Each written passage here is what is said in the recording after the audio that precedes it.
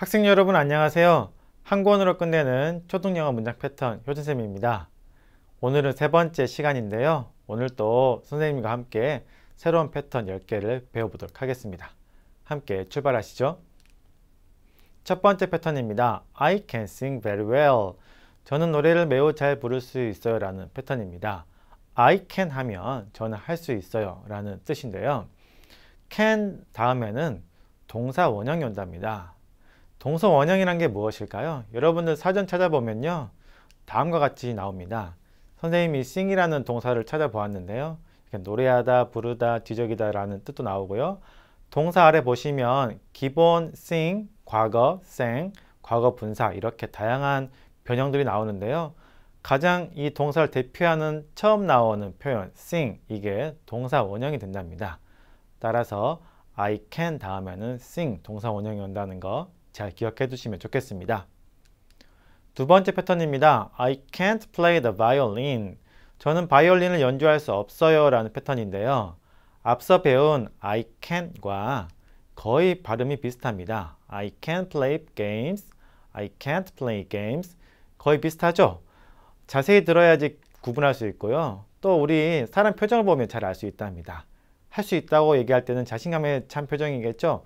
그런데 할 수 없다고 할 때는 I can't play games 뭔가 자신이 없어하는 표정이기 때문에 소리도 중요하지만 사람의 표정을 잘 본다면 두 동사의 차이점을 알 수 있답니다. I can't play soccer 하면요. 저는 축구를 할 수 없어요. I can't play volleyball 이 표현은요. 네, 나는 배구를 할 수 없어요. I can't play table tennis 이 표현은 네, 저는 탁구를 할 수 없어요 라는 뜻이 되겠습니다. 세 번째 패턴입니다. Can you swim? 당신은 수영을 할 수 있나요? 라는 패턴인데요. Can you에 대해서 좀더 알아볼까요? 앞서 우리가 can은 할 수 있다는 가능성을 나타낸다고 했죠? Can you 하면요. 당신은 할 수 있나요? 라고 이렇게 물어보는 표현이 되겠습니다.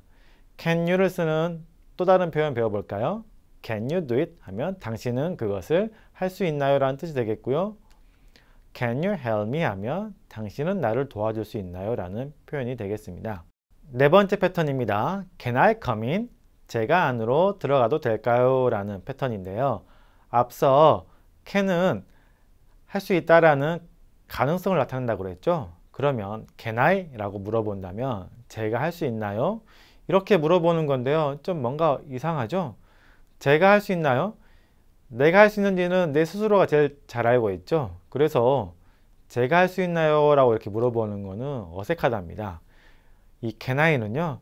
제가 해도 될까요? 라는 허락의 의미를 또 가지고 있답니다. 따라서 can I 하면 제가 무엇을 해도 될까요? 라는 의미가 되겠고요.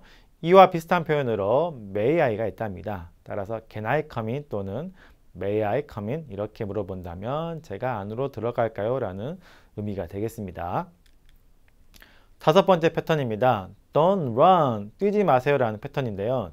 Don't, 무언가를 하지 말라는 금지의 표현인데요. don't가 들어간 표현 더 배워볼까요? Don't do that, 하지 마세요 라는 표현입니다. 무언가를 상대방이 불편하게 하고 있을 때 Don't do that 이렇게 하면 하지 마세요 라는 뜻이 되겠고요. Don't bother me 라고 하면 친구들이 나를 괴롭힐 때 괴롭히지 마 이렇게 하는 표현이 되겠습니다. Don't do that, don't bother me 두 가지 표현 잘 기억해 두시면 좋겠습니다. 여섯 번째 패턴입니다. Let's play baseball. 같이 야구합시다 라는 패턴인데요. let's에 대해서 좀 더 자세히 알아볼까요? let's는요, let us의 합성어이고요. Let은 허락하다, us는 우리. 그러니까 우리를 허락해 주세요. 같이 합시다 라는 뜻을 가지고 있고요. let me 하면요, 저를 허락해 주세요 라는 뜻이 되겠죠. 그래서 let me tell you something 하면은 여러분 당신에게 무언가를 말할 수 있게 허락해 주세요. 좀 더 자연스럽게 해석하면 제가 한 말씀 드리겠습니다 라는 표현이 되겠습니다. let 또한 let me 이 두 가지 표현 잘 기억해 두시면 좋겠습니다.